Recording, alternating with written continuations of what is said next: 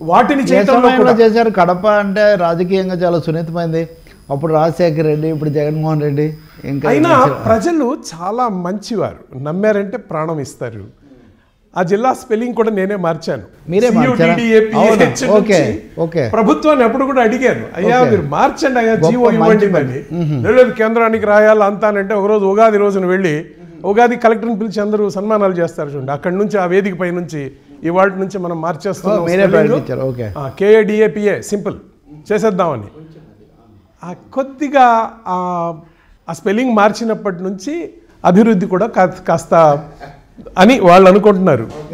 Ku సియుడిఏపిఏ Kodapa అంటే కుటిలము కూతో ఏది మొదలైనా సంస్కృతంలో అవును. అది కువి మరిచ. అవును. సౌభాగ్యదాయకం కాదు అంటే చెడు అని. అని చేశారు. కడప అన్నది మార్చాం కేఏడిఏపిఏ.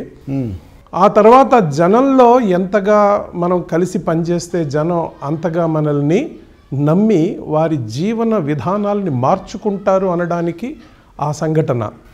రెండు ఏ జిల్లాకైనా ఒక ఎస్పీ ఒక అడిషనల్ ఎస్పీ ఉంటారు.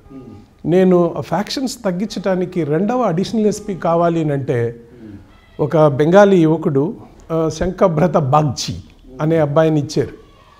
ఆ అబ్బాయితో పాటు గ్రామ గ్రామాలు ఫ్యాక్షన్ గ్రామాల్లో ఎవరి ఇంటిలో బ్రెడ్ అర్నరు మర్డర్ చేయబడ్డాడో ఆ ఇంటిలో ఉన్నటువంటి మహిళను ఇద్దరు పిల్లల్ని మైక్ ఇచ్చి గ్రామాలు తిప్పాం. మా ఆయన పోయాడు నా పరిస్థితి ఇది. ఎప్పుడు చేశారు ఇదంతా? Two thousand one two thousand two ఆ తర్వాత ఆమ్, తండ్రి ఫ్యాక్షన్లో మరణం మరణించిన తర్వాత వాళ్ళ కొడుకుని తీసుకొచ్చేటువంటి సంస్కృతి కడపలో ఉండేది.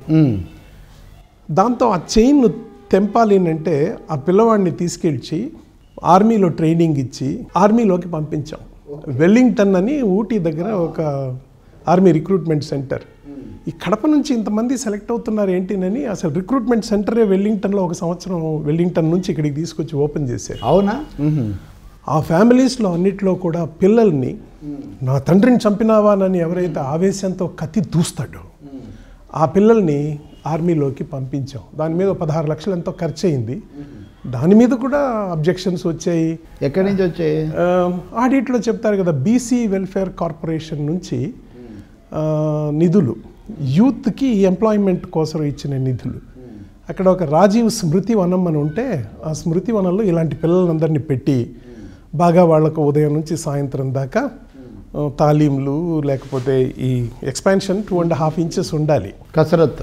కసరత్ అది చేసి వాళ్ళకి మంచి ఆహారం అది పెట్టి ట్రైనింగ్ ఇచ్చి ఎగ్జామ్ ఎట్ రాయాలి ఆర్మీ రిక్రూట్మెంట్ ఎగ్జామ్ అని ఇవన్నీ చేసి వారిని ఆర్మీలోకి పంపించడం వలన ఆ లింక్ ఎప్పుడైతే తెగిందో ఫ్యాక్షన్స్ కూడా తగ్గుముఖం పట్టింది. ఈలోపు జనంలో కూడా ఒక మంచి అభిప్రాయం. ఎంతైనా పోరాడేటువంటి ఇద్దరు ఈ ఫ్యాక్షనలిజం అనేది కేవలం మనస్తత్వానికి సంబంధించింది అంటారా? ఆర్థిక రాజకీయ ఆధిపత్యాలు చెప్పబోతూ ఉన్నాను. ఎప్పుడు కూడా ఫ్యాక్షన్ను లీడ్ చేసే ఇరువురు క్షేమంగానే ఉంటారు కానీ వారిని ఫాలోయర్స్ ఎవరైతే ఉన్నారో వాళ్ళు వాళ్ళు కొట్టుకొని చేస్తూ ఉంటారు. ఈ అంశాన్ని జనంలోకి తీసుకెళ్ళటంలో హెల్త్ క్యాంపులని నా వద్ద ఒక మంచి ఎస్పీ ఇప్పుడు ఆవిడ ఇంకా సర్వీస్లో ఉన్నారు అభిలాష బిస్త్ అని. ఆ అమ్మాయి ఈ దేవవ్రత బాగ్చి. ఈ ఆ, శంకభ్రత బాగ్చి. ఈ ఇరువురు చక్కగా పోలీస్ వ్యవస్థ కూడా స్పందించింది. ఆర్థికంగా ఇలాంటివి వెసులుబాటు కల్పించాం. అదనంగా నీరు గీరు ఏవైతే అప్పుడు వచ్చిందో పులివెందుల ప్రాంతానికి నీళ్ళు కూడా వచ్చిందిలేండి ఆ టైంలో. సో వ్యవసాయానికి నీళ్ళు ఇచ్చి పరిశ్రమల స్థాపన సిమెంట్ ఫ్యాక్టరీస్ ఏడొచ్చాయి ఆ పీరియడ్లో. ఎప్పుడైతే వస్తుందో ఆటోమేటిక్గా దీని ఇది తగ్గుతుంది. ఆర్థిక వ్యవస్థ సామాజికంగా కూడా కాస్త అవగాహన ఉంటే తగ్గుతుంది.